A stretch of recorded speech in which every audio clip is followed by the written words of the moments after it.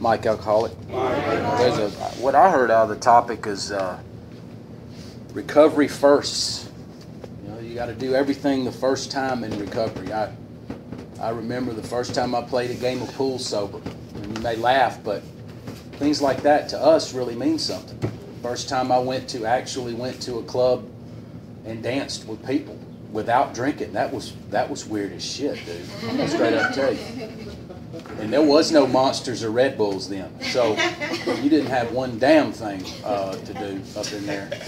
Uh, so I just got up on that box and started jumping around, uh, you know, and uh, for a while it was okay.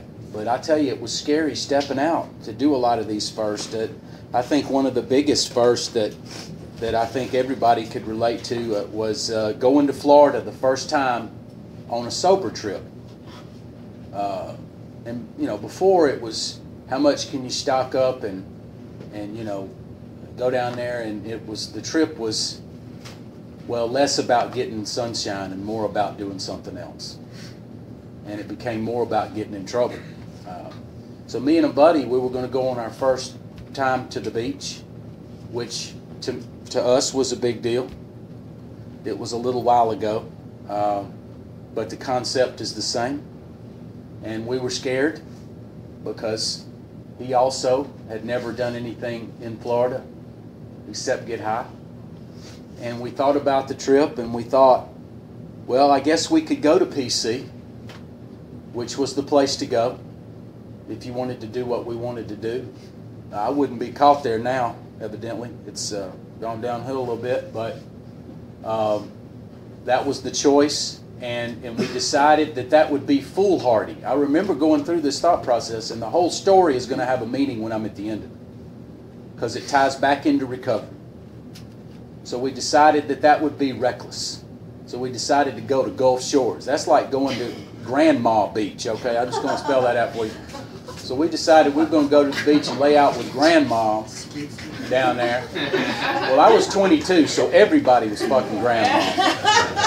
So yeah, I'm, I'm painting a picture. This beach was not the happening spot, but we were going to go to a beach. What I'm saying is we play, we, we used a little common sense is what I'm trying to paint the picture.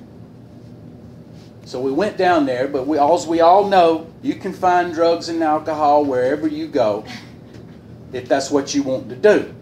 So we go down there and we're still scared, but we're hit the beach and we're, we're thinking we're going to camp out because we're going to save some money. We go to the Gulf State Park campground. I had a tent I borrowed from my dad.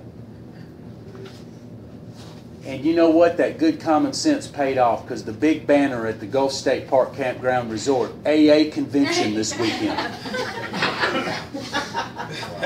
Okay? Now, we had gone to CA and NA back then. I didn't even show up to AA to the early 90s. Uh, but we went and we stayed, and it felt safe. And the, the moral of the story, and I'm going to tie it all together, and it goes into recovery just like this in every aspect of recovery. God showed up and put that AA convention that we didn't know. There was no meeting list. We didn't see no flyer. You could call it a coincidence, but I think it was a God incidence. Now, He showed up and showed out and made that first beach trip safe. But, but what else was a part of this story? We did our part. We put some good common sense into this choice. We put a little effort into this deal, and God did the rest. And that is just like recovery and every aspect of recovery. God's going to do for me what I can't do for myself, but He is not going to do for me what I can. And what I could do was choose the safest place to go and not be stupid. Because when Daniel came out of the lion's den, he didn't say, hey, fellas, let me go back in there and get my fucking hat. You know? So that would be stupid for me to go back to PC. But we went to the right place and we were rewarded for it. And I have found in recovery that time after time, if I sit quietly asking for the strength and direction to meet my problems as He would have me, and I do my part, He does His part. So I encourage and, and am excited for any newcomers that are doing their firsts in recovery. I've done all my firsts. This is a way of life for me now.